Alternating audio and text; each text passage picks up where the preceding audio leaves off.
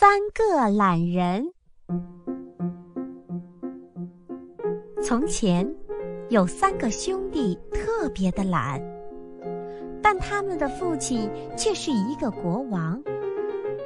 国王一点儿也没有偏心，对三个兄弟是一样的好。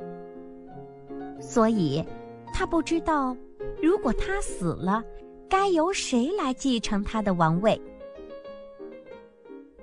后来，国王真的快要死了。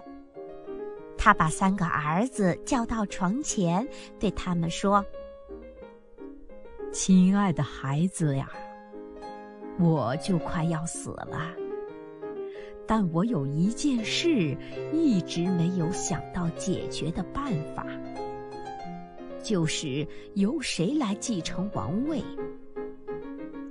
现在。”我决定在你们三个人当中选一个最懒的人来做国王。你们现在说说吧，谁是最懒的人？老大第一个说：“亲爱的父王啊，我想王位应该给我，因为我是最懒的。”如果在我想睡觉的时候掉了一只虫子在眼睛里的话，我宁可睁着眼睡觉，也不会去把虫子弄出来。哈哈，我比你更懒。